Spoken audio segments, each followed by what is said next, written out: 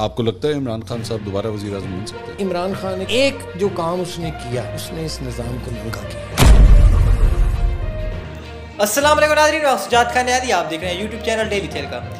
नाजरीन जिस तरीके से आसिफ कुरबानी की गुफ्तु आपके साथ शेयर कर रहे हैं और इससे पहले भी मुस्लिम लीग नून के सीनियर क्यादत की जिनमें बहुत से अहम नवार रहनमा राना सोनोला ख्वाजा साद रफीक जवेद लतीफ़ इसके साथ साथ बहुत से अहम जो इनके रहनमा हैं उनकी गुफ्तु शेयर कर रहे हैं। जिस तरीके से मरियम नानी ने अपनी पार्टी को तबाह कर दिया, अपनी जेद अना और इमरान खान के बुग्स में वज़ीर अला बनने के लिए जिस तरीके से मरियम नवाज़ ने अपनी पार्टी पर बात कर दिया है। सबसे पहले आप आसिफ कुरबानी की ये गुफ्तु सुनने, पूरा इंटरव्यू भी आपके साथ शेयर करेंगे। अभी आपके साथ हाफ़ हिस्सा जो है, इसका शॉर्ट सा क्लिप आपके साथ शेयर करें। मजीद भी आपके साथ शेयर करेंगे, जैसे आएगा।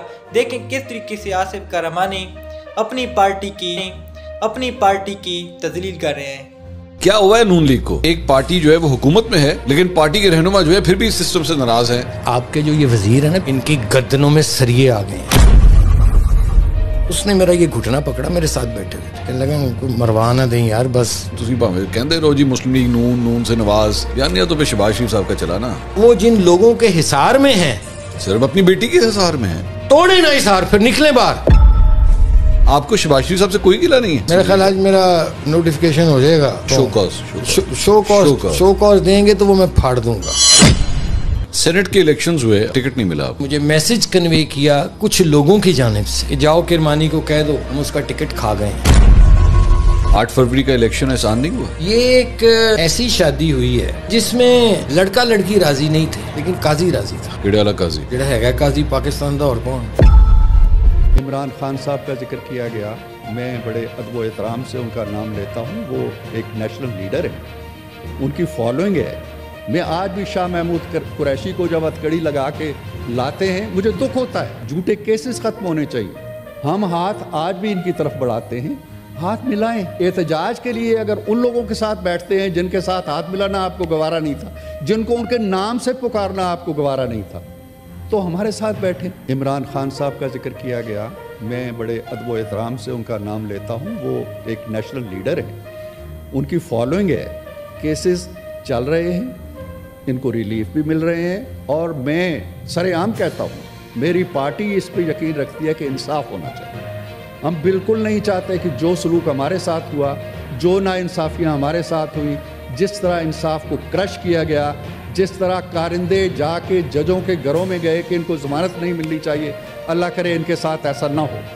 मैंने यहाँ पे खड़े होके जब अतकड़ी लगी हमारे दोस्त को तो मैंने कहा कि ये गलत है। मैं आज भी शाह महमूद कुरैशी आपने ये वीडियो देखी किस तरीके से आसिफ करमानी अपनी पार्टी की खास तौर पर मरियम नवाज़ के बारे में क्या कह रहे हैं, नवाज़ शरीफ और शहबाज शरीफ के बारे में क्या कह रहे हैं, कि इन्होंने जिस तरीके से पार्टी को तबाह कर दिया है, इमरान खान के बारे में भी आपने गुफ्तू सुनी है, कि इमरान खान इस निज़ाम को किस तरीके से नंगा कर दिया है।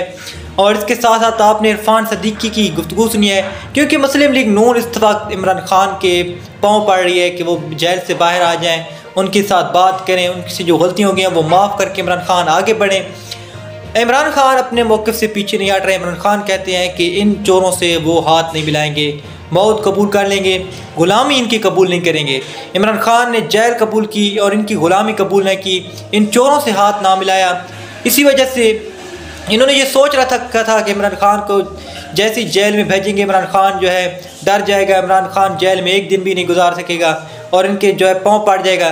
लेकिन इमरान खान जिस तरीके से डट गया इमरान खान ने जिस तरीके से निगाह निज़ाम को नंगा कर दिया, जेल से बैठ के इमरान खान ने जिस तरीके से पाकिस्तानी अवाम के अंदर शूर पैदा किया और इनको जो है दिन में तारे दिखा दिए पाकिस्तानी अवाम ने। जिस तरीके से पाकिस्तानी अवाम ने सारे निज़ाम को नंगा कर दिया, इसके पीछे एक ताकत है जो है इमरान खान। इमरान खान से ये मुलाकात करने के लिए, इमरान खान से जो है मुजाकर करने के लिए ये बड़े बड़े जो है अपने आदमी भेज रहे हैं बड़ी बड़ी ताकतें भेज रहे हैं कि किसी न किसी तरीके से इमरान खान के साथ बात करें। और अब वजह यह है कि अब मुस्लिम लीग नून खुद टूट फूट का शिकार हो चुकी है। मुस्लिम नून नून के अंदर जितनी भी सीनियर क्यादत थी, वो मरियम नवाज़ के नीचे काम करने को तैयार नहीं है।